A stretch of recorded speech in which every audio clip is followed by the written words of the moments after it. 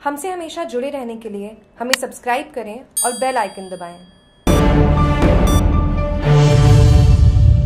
राजस्थान लून कर्नरसर से बड़ी खबर, राजमार्ग बासठ पर आज सुबह हुई बड़ी दुर्घटना। बोलेरो और ट्रेलर की हुई आमने सामने भीषण टक्कर, हादसे में तीन की हुई मौत, सात जने घायल। घायलों को बीकानेर पीबीएम में करवाया गया भर्ती।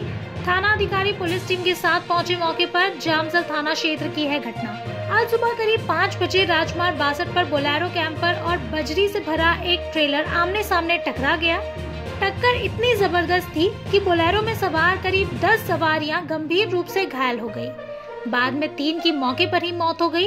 इसके अलावा सात घायलों को पीवीएम अस्पताल के लिए रवाना किया गया इनमें भी दो तीन की हालत गंभीर बताई जा रही है घटना की जानकारी मिलने पर पहुँची पुलिस ने ग्रामीणों की मदद से घायलों को जैसे तैसे वाहनों से बीकानेर पीपीएम ट्रॉमा सेंटर के लिए रवाना किया।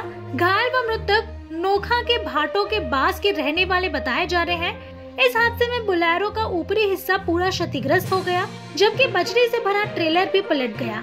घायलों व मृतकों के नाम अभी स्पष्ट नहीं हुए हैं। जागरूक टीवी की बीकानेर से खास रिपोर्ट।